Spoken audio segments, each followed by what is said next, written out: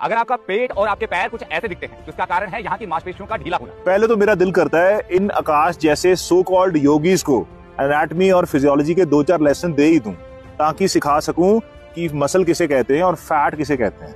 भाई साहब, जो आपका ढीला होकर लटक रहा है, वो आपकी मांसपेशियाँ या मसल नहीं है, वो आपकी फैट है बॉडी में एक्सेस स्टोर हो गए हैं, और उन एरिया में स्टोर हुए हैं, यहाँ नेचर को लगता है कि वो राइट एरिया है। आपकी मर्ज़ी से नहीं हुए आपकी मर्ज़ी से नहीं जाएँगे। तो अपने राइट लेग को श्वास निकालते हुए ऊपर उठाएँ और श्वास भरते हुए धीरे से नीचे। इसे कम से कम आठ से दस बार करें और फिर और सबसे बड़ी बात पहली मसल की एक्सरसाइज नहीं है। आप इसमें हिप फ्लेक्सर को ट्रेन कर रहे हो।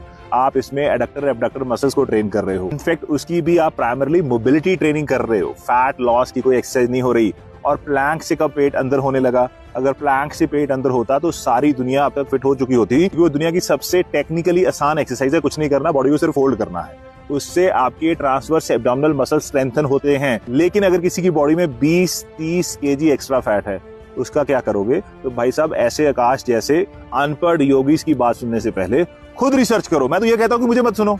खुद पढ़ाई करो, खुद दिमाग लगाओ और सोचो कि अगर कोई चीज़ बहुत आसान लग रही है प्रॉबेबली वो झूठ है।